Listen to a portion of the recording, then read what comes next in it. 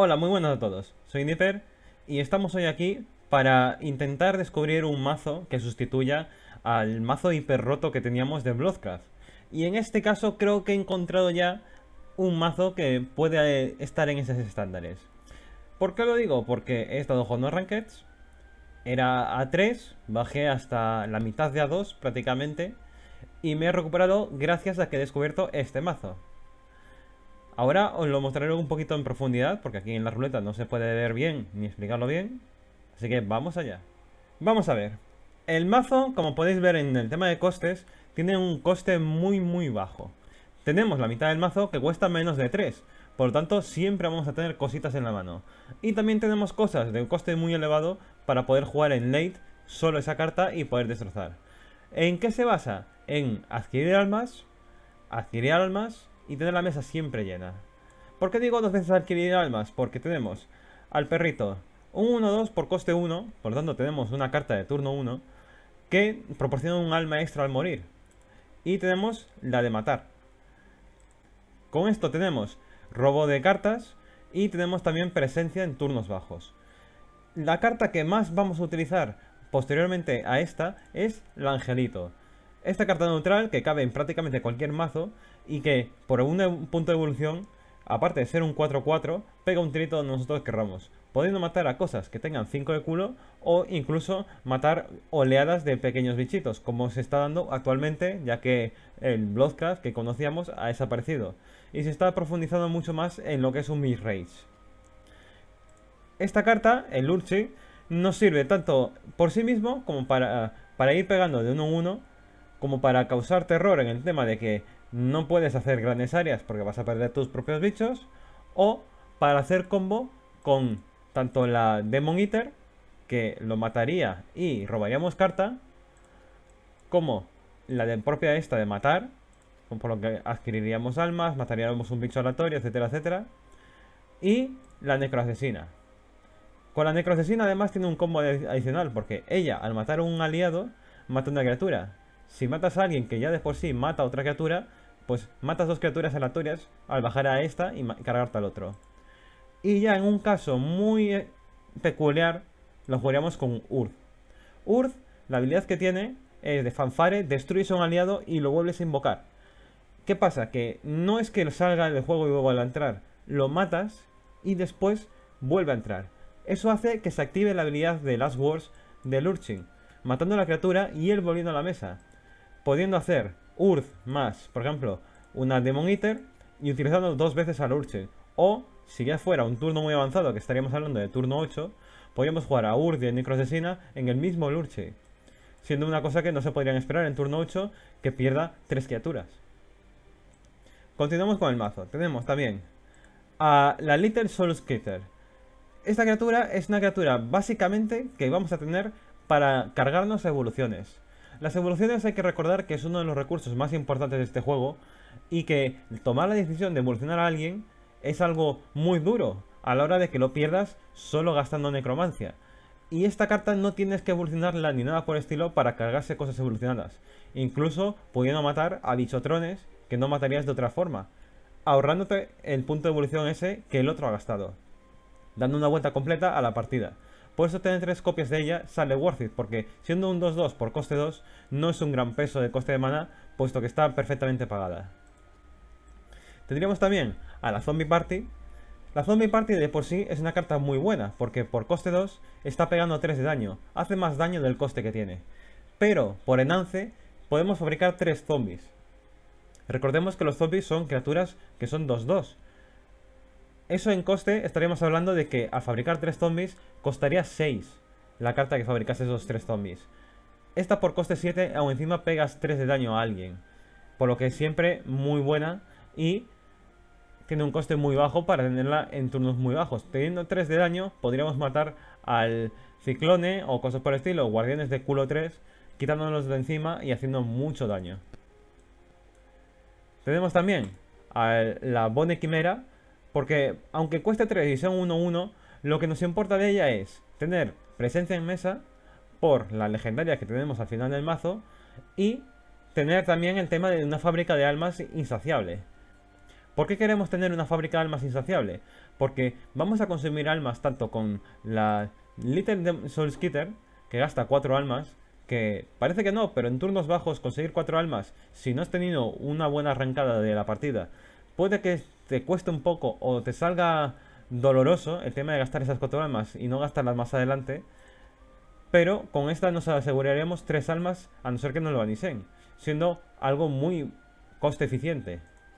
También tenemos al Attendant of Night, que es una criatura que ya de por sí es súper buena porque cuesta uno menos que la carta básica que nos dan por terminar la campaña inicial de Shadowcraft, pero a cambio tiene la pega de que solo puede pegar a guardianes y a la cabeza del rival. Eso nos da igual porque estamos hablando de un 1-1. No es que sea una gran diferencia a lo largo de la partida el que un 1-1 eh, haya pegado o no a una criatura. En cambio, podemos tener el tema de que invocas a un sino también un objetivo de la necrosesina o de la Demon Eater, pudiendo tener en turno 5 al 4-4 que sale de él y la Demon Eater haber robado carta. Tenemos a Urd, carta que ya expliqué antes, que nos puede servir tanto con, eh, con el Lurchi, nos puede servir también con el Attendant, con la Bone Quimera en casos muy específicos, o incluso con la Goblin Princess o con este. Immortal Tem. Es una criatura que nada más entrar en mesa, él es un 4-5. Vale que cuesta 7, pero es que nos pone dos criaturas que son 2-1 y que tienen la pasiva que cuando muere un aliado, ellos pegan uno de daño a la cabeza. Teniendo dos en la mesa, podemos sacrificar a este y pegaríamos dos de daño a la cabeza. Si ya encima tenemos bichitos como el Urchin o la Bone Quimera y le empezamos a sacrificar ahí como unos cosacos, aún encima pegaríamos el horror a la cabeza. Y tenemos la ventaja de que cuando muere nos pone un Wanky Knight en la mano. El Wanky Knight es una carta de, de coste 4 que es un 3-4. Pero que con necromancia, que aquí estaría el tema de que tenemos que también tener en cuenta el consumo de la necromancia a lo largo de la partida. No consumimos mucho, pero tampoco es que somos una fábrica imparable a no ser que nos salga muy bien en la escala de mana. Con Necromancia 4 tendríamos un más 1 más 1, siendo por coste 4 un 4-5, y ganaría Ward y Bane. Teniendo en cuenta también que su evolución es completa, puede ser un Bichotron, puede ser un Bichotron con Guardián y Bane, y esto no sale totalmente gratis, porque sale al morir la criatura inicial. ¿Qué pasaría con Urd? Que podríamos volver a este, entrar en mesa y seguir teniendo al Waking Knight asegurándonos de que cuando vuelva a morir nos dé otro, pudiendo tener un buff muy grande en ciertos turnos. Tenemos también a la Goblin Princess, que hace prácticamente lo mismo que él, pero en su forma neutral, cuesta bastante menos, eso también cabe recalcarlo, y es una mierda en cuestión de ser una criatura, porque es un 2-1, va a morir como querramos. Pero eso nos sale muy bien, porque ella entra con dos Goblins, que son 1-2 son muy buenos, porque al tener dos de defensa no es tan fácil matarlos como ella. Y ella nos da, absolutamente igual para que ella muera. Incluso cuando ella entre en mesa, lo más lógico en algunas situaciones es ella evolucionarla y estamparla contra el bicho que nos cause problemas. Porque cuando ella muere, por coste 4, nos dan en la mano al Goblin King, a su papi, que es un 5-5 con War por coste 4. Y ya entraríamos al finisher de la partida, que sería el Demon Lord Eater. Este bicho es archiconocido por todo el mundo. Es por coste 7 un 5-6 que hace que todas las criaturas que tengamos en la mesa antes de que él entre ganan un más 2 más 0 y rush. ¿Qué pasa? Que si tenemos mucha necromancia, los huecos que queden en la mesa los irá rellenando él por cada 3 de necromancia con un zombie 2-2 y después les da el bufo, pudiendo tener bichos con rush que limpien la mesa y los que tengamos en la mesa antes son los que hacen daño de verdad. Aquí es donde entra la eficiencia de la Bone Quimera. Porque la Bone Quimera, los esqueletos que deja son 1-1. Ya, pero estaremos hablando de que con el, la legendaria pasarían a ser dos esqueletos 1-1 a ser dos esqueletos 3-1, siendo 6 daños que podríamos pegar a la cabeza, así como cualquiera de las otras criaturas. Y ya, como una carta super circunstancial de Hyperlate, en el caso de que no hayamos gastado demasiadas almas, tendríamos al Deathly Tyrant. El tirano, como lo llamo yo. Es una carta de coste 6 y es un 3-3, con tormenta. De por sí es una mierda de criatura, pero pincha un palo muy, muy, muy mala. Pero si tenemos 20 necromancia, es un Bahamut con tormenta. No limpia la mesa como haría Bahamut, pero a cambio sería un 13-13 que pega a, donde nosotros querramos. Habiendo eliminado cualquier cosa de la mesa con eh, los bichos que tenemos aquí para limpiar, teniendo en cuenta que es un coste 6, podríamos tener a un Lurch antes en la mesa, pegarle una necrosesina encima y ya con los 6 de mana que nos sobrarían, tirarle a esto. Habíamos limpiado la mesa y nos estaríamos pegando de 13 con la cara del rival. Y teniendo en cuenta que no es un bufo que se pierda, si no termina el combate ahí, tendríamos un 13-13 en la mesa. Y ahora que ya he explicado el mazo, vamos con la partida. Uh, un triple A. ¿Qué digo un triple A? Un doble A. Estoy muy loco. Voy segundo contra Heavencraft. Hmm. Aunque tengo una mano muy muy buena. Sobre todo teniendo en cuenta que voy a robar dos cartas. Lo quedaría porque me toca el perrito ahora. Si toca el perrito, tengo todo en la escala de mana. ¡Ah! No había suerte. Bueno, ahora Lirial. El Urchir, si no hay criaturas en mesa, es tontería jugarlo de buenas a primeras. Porque es... Es llamar a que te lo banishen. Y no sale worthy en absoluto. Para eso pues voy pegando dos en dos. Oh, mira. Ferpeuto.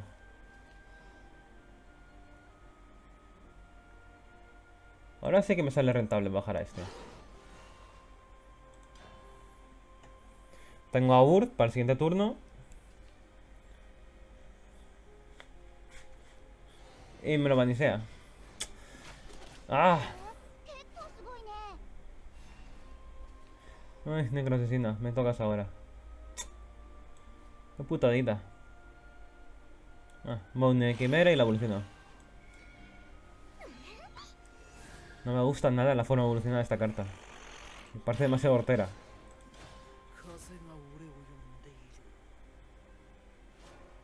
Me ha parado dos turnos con el game. Me ha salido super worth it. Teniendo en cuenta que ahora vienen los turnos fuertes de Heavencraft. Me lo banisea. Ya ha gastado dos baniseos. Es una de las Prayer. Interesante. Mm, vale. Lo malo es que no, ha gastado, no ganado almas con esos dos baniseos. A mí me ha jugado mucho. Goblin Princess. A ver si forzamos un Temis o algo. Eh, tengo una necrosesina en la mano. Uh, me la va a banisear. Qué cabrón.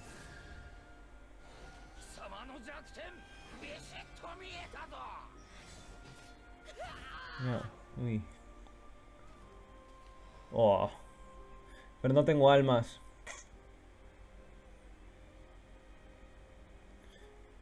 Qué pena. Mm.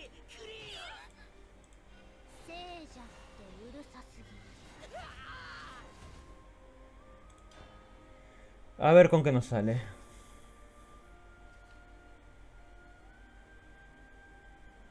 Turno 7 es un Lenas Prayer, por lo tanto las vidas le importan muy poco.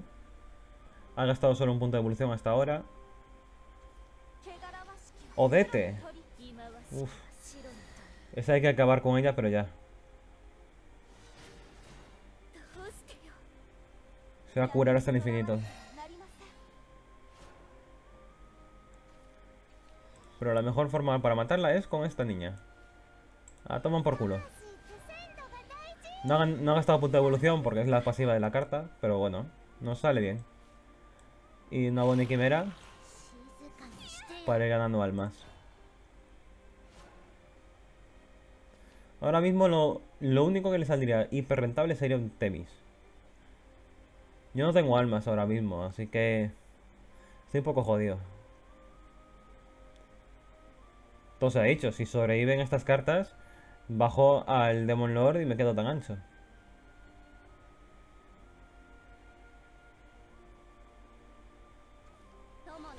Tenko. Hijo puta. A Tenko hay que matarla.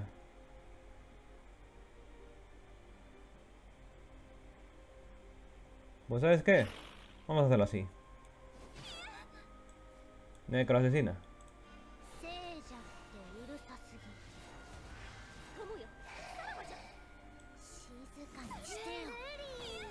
Vale, ya está a 11 vidas. Ahora sí que me jodería infinito un Temis. No lo tiene. Eso me gusta. Sí, sí, abre hueco, por favor.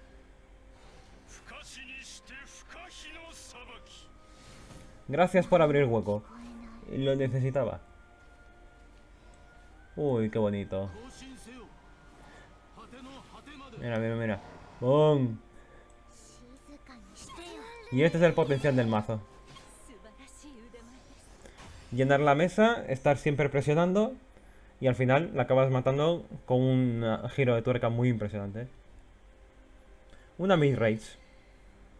Bueno, como habéis podido ver, el potencial del mazo eh, está básicamente en adquirir un montón de criaturas siempre. Las almas hay que jugarlas con cabeza, porque como habéis visto en la partida, me he llegado a quedar sin ellas. Porque tenemos formas de consumirlas. No hay que olvidarse de ello. Que nuestra querida la Loli asesina esta consume muchas almas para ser de los turnos en los que se juega. Y si no hemos tenido la, gran suerte de tener cartas como esta y nos dejaran de banisear a la quimera y cosas por el estilo, pues habremos hecho muchísimo más. Y nada, este es el vídeo de hoy. Nos vemos en el próximo vídeo. Hasta luego, hasta otra.